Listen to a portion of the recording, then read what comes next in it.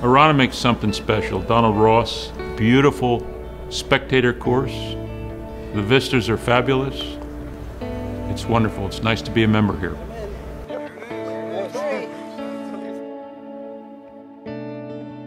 Well, we've got an event that uh, is bursting at the seams. We're uh, hugely successful, and there are many reasons for that. Used to be cancer was a death sentence. Now it's not so. Uh, used to be six months, really turned into a lifetime. Uh, the researchers at Penn are doing a fabulous job, and um, we have a good time raising money. Research requires plenty of uh, dollars. So we do get fundings from uh, NIH and their government support is there, but it is not enough. So we need private foundations and private fundings to you know create some kind of a seed money to you know explore our ideas. Jay Sigel uh, represents someone who understands the value of research in medicine. He gets it. What Jay symbolizes in this tournament, and it's been around about 26 years. Uh, it's raised over $4 million uh, for cancer research uh, for more than 20 years for uh, the Abramson Cancer Center at the University of Pennsylvania. Uh, this provides discretionary money for our director of our cancer center to fund immediately without a bureaucratic process promising research leads in breast cancer and prostate cancer so if an investigator gets an idea, brings it to us, we can fund it and get it going. I am on the Abramson Cancer Center Leadership Council. So uh, we're intimately involved, uh, my organization, with the patients. And um, we see the mass majority, the, the massive numbers that are coming in from all over, all parts of the country, all walks of life, coming in to Penn and it's that you know that extra mile and just the latest and the greatest and um, the opportunity for hope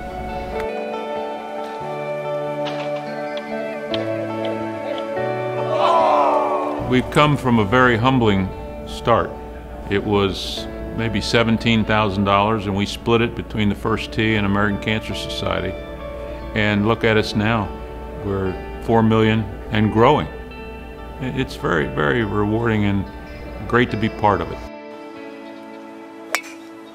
Jay's a very caring um, individual, no question about that. And um, to see the success that he's had at this event, uh, what, 26 years and running, uh, just tremendous, great cause. Um, and it, it, was really fun to be around today and see how many people have been here multiple times. And anytime uh, I go to any kind of charity event and I see where there's repeat uh, uh, performers, uh, when they come back year after year after year, obviously something is being done right and it's usually for a good cause. And after having been a part of it this year, uh, I can certainly see that. Well, it's, a, it's fantastic to be a part of the event for the sake of coming to a facility like Aronimink and playing a golf course like this. You know, it's a course that you generally don't have access to. And uh, here, by supporting the Abramson Cancer Foundation, you're able to play a course like Aronimink and also uh, you know, support a good cause and, and be able to experience a course that otherwise you, you may not be able to play. Oh, I would say it's a fantastic venue. Um, it's uh, world class as far as what they put on, as far as the venue, as far as the accommodations. You can't beat Aronimink. It's a great course, and uh, it's always a great day. We'll be back next year tell you, the thing that really strikes me is just how friendly and personable and down to earth they are. Especially um, Jay, who I've gotten to know now over over a decade. Um, goes out of his way to help everyone he can, and, and, as you said, the connections. No matter you know, no matter who he runs into, if there's if there's an opportunity to help somebody, um, to get them connected with someone else, or to do something himself, Jay's the first person to do that.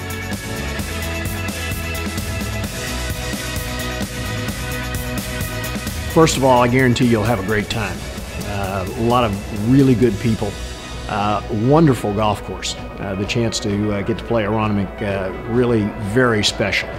And um, for a great cause. So you combine all three, great people, great golf course, great cause, um, you'll have a wonderful day.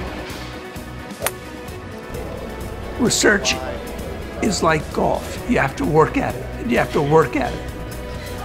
And we at the Abramson Cancer Center really spend all of our time trying to find new research that will benefit cancer patients. In the last year alone, we're the only cancer center in the country that has had four drugs from our laboratories approved by the Food and Drug Administration.